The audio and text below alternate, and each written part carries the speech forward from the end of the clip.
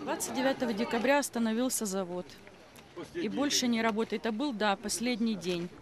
И такого не видела, сколько работают, чтобы котельную можно было остановить, когда все, угроза разморозки, водопровода и всего остального. Но завод остановился. А как жить? Долги по квартире, по кредитам. Куда людям деваться? А лекарства? Я гипертоник сама.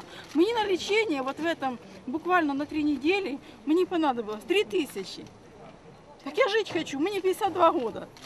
А в такий возраст уже попробуй куди-нибудь на роботу устроить. Я ні дитині не можу допомогти, ні внукам не можу допомогти, нічого. Та що ж це таке, в конце концов? А вони тут устроїли кріпосне право. До 15 числа у всех будет заработная плата отдана. Это я вам обещаю. Вот есть...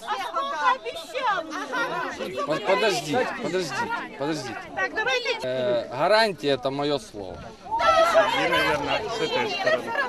Буквально в пятницу э, с Укрзалезницы пришла разнарядка на шпалы. Это только в этом году, это только в пятницу она пришла на 30 тысяч шпал. Есть, э, есть разнарядки еще на 120 тысяч шпал. Мы можем через две недели также собраться, и тогда вы мне это скажете в лицо, хорошо? Помним,